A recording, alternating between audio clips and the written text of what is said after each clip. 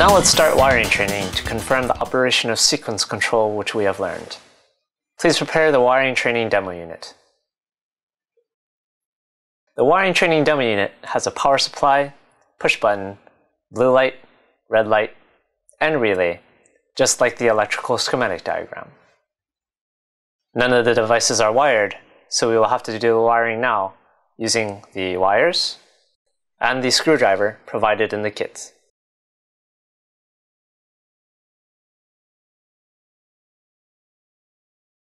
Make sure you do not connect the power supply cable before you finish wiring and checking.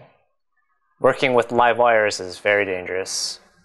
First, confirm that the power is off, then start wiring from number 1.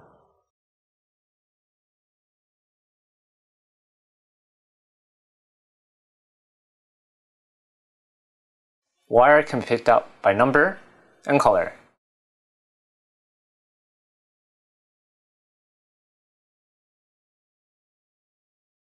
Wire number 4 and number 5 at the DC power supplied connect to the same terminal.